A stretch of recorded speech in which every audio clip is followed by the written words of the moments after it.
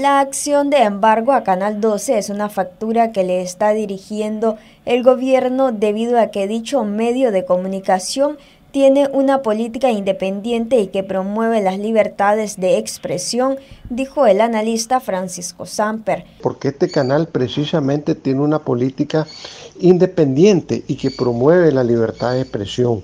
Precisamente la libertad de expresión es fundamental porque a través de ese derecho se puede denunciar todas las anomalías y la corrupción del poder.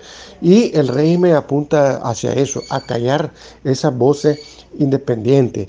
De ahí que eh, está promoviendo esos juicios, esos embargos, está haciendo reparaciones fiscales con, con periodos que ya caducaron, que la, que la propia ley, el código tributario ha establecido que ya, ya prescribieron, de tal manera que está buscando siempre cómo inventar para hacer daño a aquellas voces que mantienen viva la libertad, la libertad de expresión. Samper agrega que la acción contra el Canal 12 no se puede desligar junto a otros proyectos que está promoviendo el gobierno. Lo lamentable de todo esto es que observamos que la, que la oposición está en luchas internas y no promueve los intereses y, las necesidades que existen en estos momentos del pueblo y, de la población, de los, inclusive de los empresarios, así como, como el Canal 12.